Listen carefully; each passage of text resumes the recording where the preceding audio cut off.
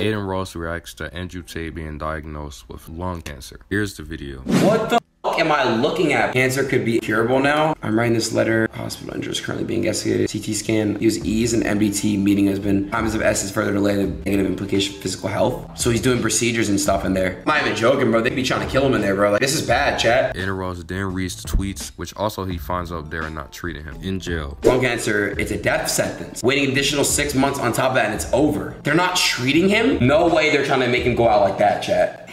They're literally trying to, they're trying to, they're trying to end him, bro. And then he says one last thing. Andrew Tate possibly has lung cancer. If you don't treat cancer, what happens, chat? It'll, it'll and it'll kill your body. So the fact that they're not treating him in here and giving him proper treatment and all those types of stuff, it's ridiculous. This is the end of the video. I hope you enjoyed the video. If you did, make sure to click the subscribe button. I'll see you guys in the next video. Bye.